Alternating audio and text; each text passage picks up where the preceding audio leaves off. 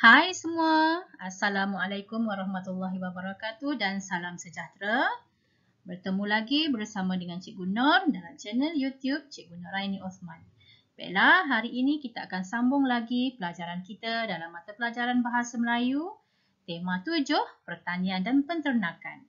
Hari ini kita akan belajar unit 20, Ternakan yang berfaedah, tajuk Ternakan Puyuh. Dan tata bahasa yang akan kita belajar pada hari ini ialah ayat tunggal. Mari kita lihat objektif pembelajaran. Okay, yang pertama, murid dapat mengenal pasti ayat tunggal berdasarkan bahan. Dan yang kedua, menggunakan ayat tunggal dengan betul. Baiklah murid-murid, apakah itu ayat tunggal? Hmm, masa murid-murid uh, tahun satu, murid-murid dah belajar kan? Ha, masih ingat lagi? Ha, kalau yang belum, mari cikgu beritahu murid-murid. Okey, ayat tunggal ialah, ha, lihat di sini. Ayat tunggal ialah ayat yang mempunyai satu subjek dan satu predikat. Okey, ayat yang mempunyai satu subjek dan satu predikat.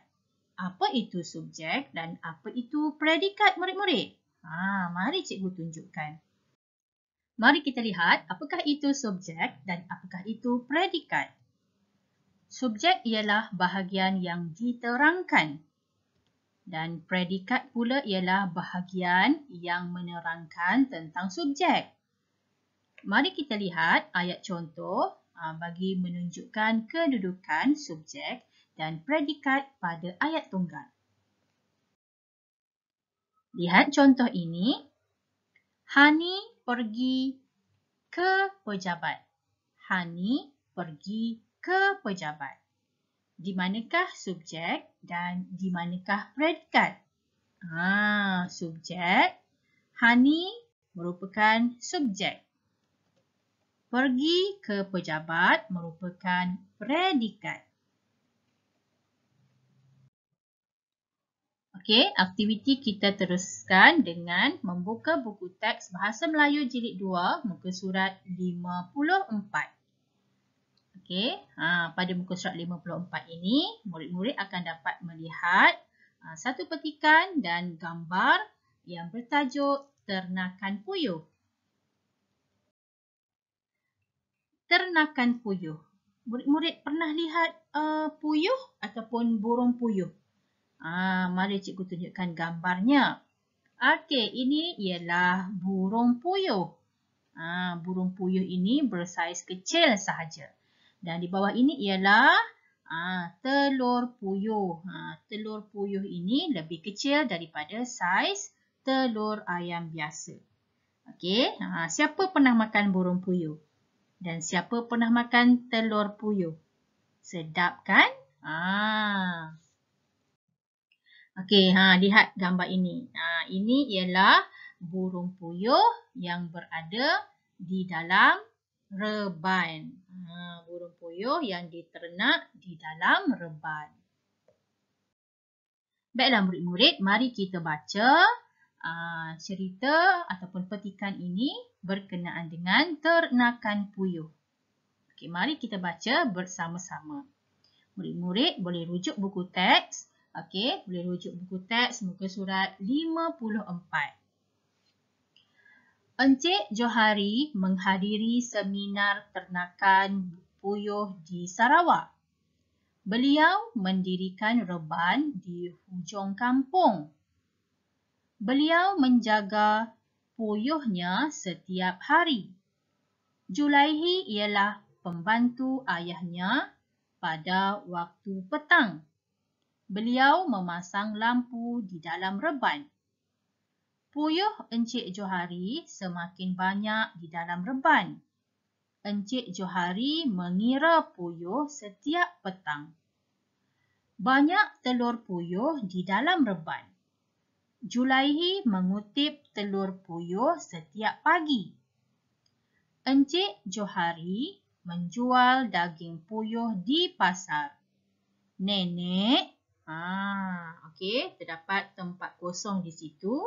Jadi murid-murid, mari kita lengkapkan uh, tempat kosong itu dengan ayat tunggal yang akan kita bina berdasarkan gambar yang terakhir ini. Ha, gambar yang kelima ni. Ha, Okey. Ha, nampak tak Encik Johari menjual daging burung, ha, daging puyuh di pasar. Okey, Encik Johari menjual daging puyuh di pasar. Nenek pula, ha, nenek buat apa tu dekat belakang tu?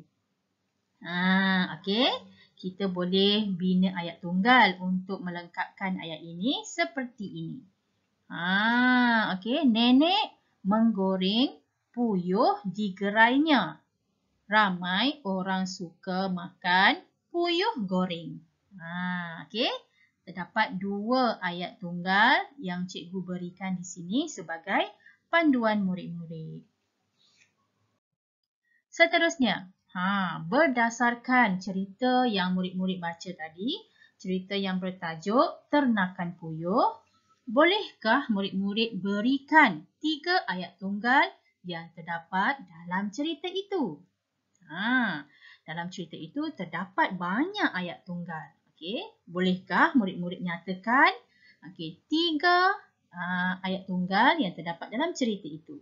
Ha, okey, cikgu nak bagi dekat sini tiga. Okey, ha, murid-murid boleh pilih sendiri ha, ayat tunggal yang terdapat dalam cerita itu. Ha, tetapi di sini, ha, cikgu bagi tiga yang ini. Okey, yang pertama. Encik Johari menghadiri seminar ternakan puyuh di Sarawak. Yang kedua, beliau mendirikan reban di hujung kampung.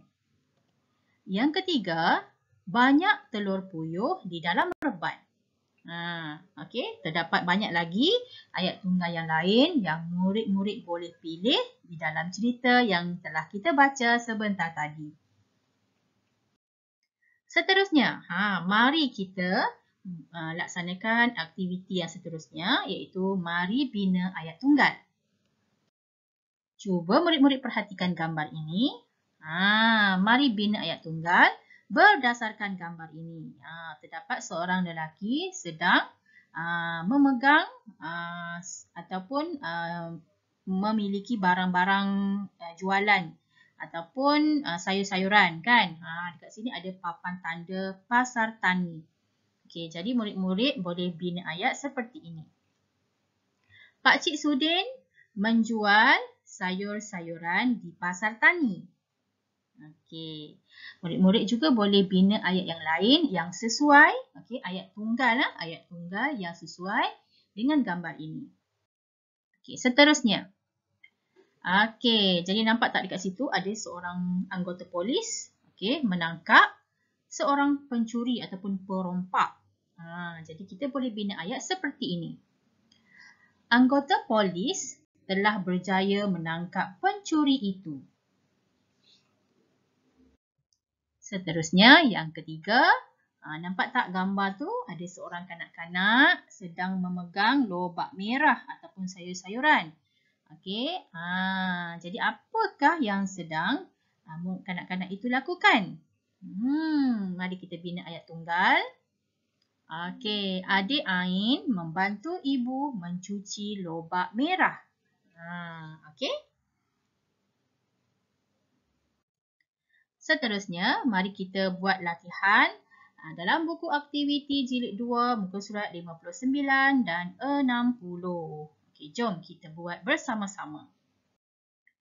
Okey, buka uh, buku aktiviti jilid 2 muka surat 59. Okey, terdapat uh, gambar dan uh, tempat kosong eh, ayat tunggal uh, yang perlu murid-murid bina okey untuk melengkapkan tempat kosong itu.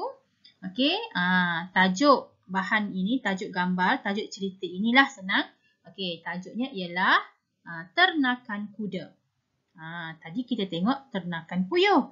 Sekarang kita lihat ternakan kuda. Uh, ini uh, gambar kuda. Okey, uh, kuda. Murid-murid biasa tengok kuda kan? Uh, semua kenal kuda macam mana. Okey, mari kita bina ayat. Okey, mari kita bina ayat tunggal berdasarkan gambar. Okey, mari kita lihat yang pertama ni. Kita sambung ayat yang telah diberikan. Encik Basri menanam rumput di ha, di mana ni dia tanam rumput? Okey, ha, murid-murid ha, ni boleh jawab seperti ini. Okey, di kawasan lapang ataupun murid-murid boleh jawab ha, di belakang rumah ataupun di belakang kandang kuda. Ha, ataupun uh, jawapan yang sesuai lah yang jawapan uh, yang menunjukkan tempat tempat yang sesuai untuk ditanam rumput. Okey, kita lihat gambar yang kedua. Uh, nampak tak tu? Encik Basri, uh, dia hendak membawa uh, masuk kudanya ke mana tu? Encik Basri memasukkan kuda ke ke mana? Ke dalam kandang. Uh, ke dalam kandang. Okey, kuda okey diternak di dalam kandang. Okey, jadi Encik Basri memasukkan kuda ke dalam kandang. Okey, kemudian lihat gambar yang ketiga. Ha, nampak tak Encik Basri buat apa tu? Ha, dia mengangkat ha, mengangkat guni makanan kuda kan? Ha, jadi kita nak buat ayat apa dekat sini? Okey, cikgu mencadangkan murid-murid boleh bina ayat seperti ini.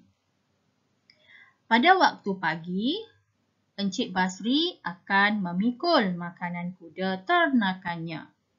Okey, ataupun murid-murid boleh buat juga Encik Basri mengangkat makanan kuda ternakannya. Ha.